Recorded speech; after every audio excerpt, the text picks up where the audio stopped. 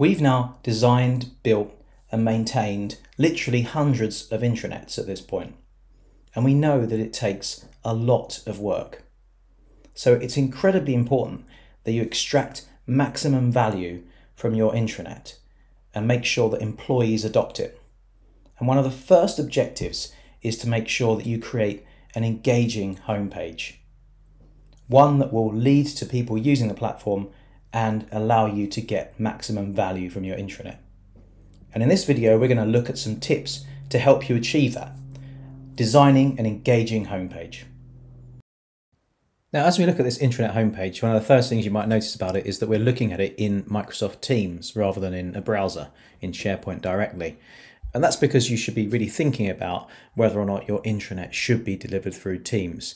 Many organizations nowadays, uh, you know, their, their employees, particularly if they're knowledge workers, um, are living inside of Teams almost. They spend a lot of their working day there, and it makes sense to uh, make the intranet more readily available directly on the Teams app rail, for example. So you're just removing barriers there and making sure that people are more likely to be able to get to it easily and quickly. And as we look at the page itself, um, first of all, we, we start with a typical mega menu for navigation. And it's important to have these mega menus to organize your content because it gives people an easy to scan way of understanding the, the breadth uh, of information and, uh, and, and more easily choose where they're going to dig into. So navigation um, is, a, is a big part of making a, an engaging intranet. Um, but then also, as we go down the page, we have um, the sort of facilities type announcements or alerts that can kind of appear uh, periodically when certain things happen. Um, they don't it's not always there, but it just appears when certain events happen, such as fire alarm testing, and they're audience targeted at uh, particular groups uh, that they're going to be relevant to, so that it's not basically adding noise for people to whom that isn't relevant. And that's one of the key things that we often hear when we're doing research about intranets is that employees say, everything that's on the intranet, most of it's not relevant to me. Uh, so we need to make sure that our homepage actually changes that and that we do have stuff that is relevant to different groups of people. Uh, and that brings us on to the next element that we see here on the homepage in this area here, which is this welcome bar. So this um, is just a simple message saying, you know, good afternoon, Christopher in this case. Um, it, so it's, it's, it's indicating that this intranet is personalized and it has personalized features. And that won't always be that clear when people first arrive at a page. So that kind of visual cue or indicator can be very useful. And on the right, which is quite high up the page, we have this um, app launcher called My Apps. Now, the idea of this is that you can basically show um, company approved apps and services to different groups, depending on which ones you think that they would be using and um, but also I can personalize this so I can click and edit it and I can actually customize that list and, and change the order and either add additional company approved apps from a centralized database or even add my own links to things like websites that I might use frequently. So I'm kind of creating a launchpad or a personal favorites bar here that is basically going to be more useful to me um, or make the intranet more useful to me as a daily work tool. And that's another key thing around making an intranet engaging and driving adoption is having these things that are useful on a day-to-day basis not just about you know, be, becoming informed on what's going on in the company uh, but also having stuff that is, is has utility. On the left you know it's still important obviously here to actually still inform people about what's going on in the business too. So we normally have something like this carousel which has this kind of the big headline stories or maybe features that we want everybody to see. And quite a lot of real estate is given to that. And there's an opportunity here to use you know, branded branded imagery that that ties into the overall color scheme of your of your site and really makes the intranet feel on brand like you know like your website's an extension of your brand just internally. And so, yeah, having that sort of large space for images and that sort of thing can really help create a more engaging design. And also, it, it also has the, the benefit of breaking up the page a bit more, giving a bit more space to the elements so that it's not just you know lots of tiny details everywhere and it, it mixes it up so it is important to get a mixture between you know use of iconography um, imagery, you know, photography, and also just text. Um, and it's like combining them in, in the ways like you see here with good balance that makes the intranet more uh, easy to scan and more engaging uh, to the employees. And as we scroll down the page, we then see something called the dashboard, which is pro provided by um, Viva Connections. Now, the idea with this is that it summarizes information from other platforms, other apps, um, that is uh, relevant to me so that I don't have to go into those separate apps to check for the updates. So things like, you know, there's a task here that is, is, is, due for me. Uh, there's two updates on site, some IT service tickets that I've submitted. Um, I can see also that I've received kudos or like recognition from a peer. And I can see I've got an upcoming desk booking. Um, so all these things are being handled by different apps actually, but um, having them summarized in this dashboard on the intranet really makes the intranet more useful again as a daily work tool. It's somewhere that I want to go to because it actually provides me with a, a, a bunch of services that I would otherwise have to jump around to get that information. Um, so you can take this a step further as well. You can actually make it so that I can perform an action here without actually leaving the intranet. So if I was to do something like click to uh, give kudos or, or recognize a peer, a, a, form pops up and I actually actually you know fill that out and carry out that process with from here without leaving the intranet, which is another thing that's great in terms of making an engaging intranet and adopt and having people adopt it is make sure that you can you know have them complete things on the intranet as much as possible without having to go elsewhere. And we have on the right people directory. We know that you know you, you probably know that you can search for people at the top of the page.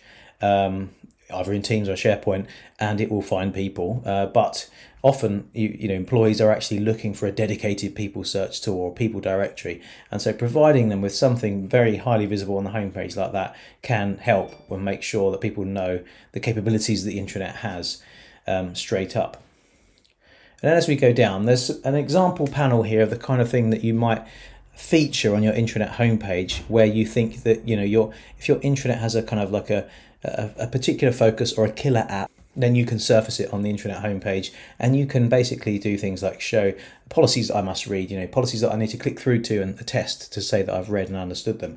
Um, and also, uh, the LMS is a big feature of this intranet um, in terms of the services it provides. So I can actually see information about how my, my training is going and the status of my direct reports, how they're getting on. And then if I click into view training catalog, then I can actually browse the full course catalogue if I was to do that. And at the bottom we have some more news which is basically tailored or personalized to me as an individual based on you know the groups I'm in like my department, my location, you know what country I'm based in and so on. And on the right I see a, a Viva Engage feed which is basically what used to be called Yammer so this is another dimension to the intranet content here. So I'm getting a feed of conversations and questions from colleagues across you know the whole organization that is relevant to me. Um, and it is it could be stuff that's more social. Some organizations would use this for things like sports and societies, fundraisers, that sort of thing. Um, but it could still be work related, just not as tightly defined as something like a, you know the communication on a project or a particular program of work. It could be something that's more like a knowledge area that I'm interested in and I want to discuss with colleagues in other countries. Let's say that I don't actually know personally.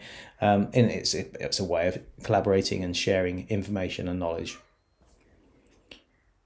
And just at the bottom here, last thing to mention is that sometimes, you know, you do just want to call out some links to key content on an intranet homepage, and it's okay to do it with text links, particularly if you uh, have already a lot of imagery and icon iconography on the page. You need to mix it up, and you need to make sure that you sometimes just use more straightforward presentation styles. Let's look at some other intranet homepage design examples. Now we can see with this one that there's a very strong sense of branding. So we've used something called uh, Lightspeed 365 Brand Customizer to apply additional graphics and, and effects like, you know, a, a behind the menu. Um, and it goes beyond what you can do with out of the box Microsoft uh, 365 um, you know, SharePoint controls for, in terms of changing the look of the page. Um, but you know, you there are still things that you can do with the out of box tools. You know, you can change the color scheme, you can change background colors and so on, and link colors, that sort of thing. So, um, so here, here we see you know a slightly different approach in terms of the branding. Um, there's a lot more space given than my previous example to the sort of news and updates at the top of the screen. It has the full width, so it doesn't have that app launcher. Um, typically, you know, you will find that like if your if your intranet uh, or or the organization has a, a big focus on on brand and imagery and and there's lots available potentially as well um, that, that you can afford to have more real estate given to that sort of thing. But um, as we scroll down the page we still have a similar thing in here in terms of this Viva Engage feed. Uh, sometimes it might be called something different because different organizations may or may not want to refer to it by the name of the product. Um, this is a kind of aviation uh, company, and so they actually have some kind of critical business systems that operate all the time. Well, they hope they operate all the time, and there's actually a system status notification, so it lets you know if those platforms are down at any time. Uh, which is some, something that's very important to this organization to know that those you know the status of those um, systems so it's one of, an example of one of those kind of key features or killer apps that you want to surface on your intranet homepage and do so in a way that makes this useful and engaging. And we also have People Finder. We saw a similar thing on the previous example. As we scroll down the page, we sometimes you know use things like these call out banners or billboards on pages um, to highlight a particular feature or area of content that might be new or we think is particularly noteworthy for employees. And that can help also break up the page visually. And at the bottom, you'll see we've got this kind of graphic at the background um, that creates this long footer, and I think really adds again a lot of the sort of the, the brand uh, appeal to the uh, intranet and makes it feel much more like a website. So this homepage design immediately looks very different, and that's because it's got this kind of dark theme uh, or contrast. Um, so it is possible with Microsoft uh, SharePoint out of the box change the look uh, to do this sort of um, yeah darker theme. Um, it kind of suits the, the sort of the subject matter um, that at hand here with this organization, which is a motorsports company. Um, so yeah, it can really add quite a lot of a, a difference in terms of the look and feel. And um, again, you know, this is might be something that their their corporate website has a dark theme, and you're mirroring that, and therefore it, it feels much more aligned with the brand to do so. Um, and also there are some extra touches here. So for example, we have a news carousel. We don't have a full bleed image for every uh, news article. But in the background of this zone, there is a kind of back blurred background image of uh, in, um, you know a motorbike. It's hard to make out, but there's something there that gives texture to this page, and again supports the sort of the brand and the way that it's added to the intranet. Um, and so that that's actually done with something called Section Plus as part of Lightspeed 365. There are other ways to create background images in SharePoint using customizations, but unfortunately, it's not something that is available out of the box to do it behind web parts like this. Um, and then on the right, we have App Launcher, like we had in the first example I showed, but in this case, it's displayed slightly differently. It doesn't have those tiles, and it has icons that are uh, for that particular app. Um, so that you know they actually would probably be more recognizable at a glance in terms of where those um, links are leading to. As we go down the page, we see some you know, common types of things like a welcome bar, a people search or people directory. We also have some call outs to some key areas of intranet content. And then we also have some, you know, uh, pertinent sort of dashboard type information regarding, um, you know, information that's important for this organization's operation. So or operations so things like when is when is the next parts assessment is probably something that everyone in the organization needs to be aware of because they're all working towards that that, that date. Um, and also if there's yeah particular uh, locations of the organization that are important that you might have something like these kind of world clocks there too. So it's making again the intranet a a, a dashboard you know a useful daily dashboard for getting an overview of all this kind of information uh, as we go down, you know, the dark theme continues, and we have more traditional, you know, like news and um, text links and a searchable how do I guidance database as well. So yeah, you know, di- different purposes for different intranets. The the things you might have on the page do vary, but you'll see the sort of the overall structure is quite similar. We have some areas which are more image heavy and we use that to convey and connect with the brand, and then other areas which are more based around text links uh, or even in, in contextual search tools and things like that uh, as you go further down the page. So in the last example here, we see that we've got a fashion brand. So immediately it looks quite different to the others. and that's a lot to do with the content imagery. So, you know, I mentioned that when you've got air like big carousels for news and that sort of thing, um, and we've also got these kind of big panels for updates with large image boxes for these uh, stories or updates. Um, it gives you an opportunity to inject, you know, your brand through the use of the content imagery. So that's that's great because it's not just there for decoration. You know, you are using it as content to um, to convey the brand as part of you know, different stories or updates. It's not like it's just the same image that's there for decoration, um, but it does depend on you having access to a a good supply of um, on brand imagery, brand assets, or in some cases you might need to create some of this kind of stuff. Um, but it does really help with making the intranet feel on brand and more engaging. Um, having said that, there are times when it makes sense not to use um, just sort of brand imagery for your content. Um, and that is when, for example, you have um, articles or um, posts about your about colleagues. It could be an interview with somebody at the organization, like a senior leader, or it could be a focus on a particular award, industry award that you've won.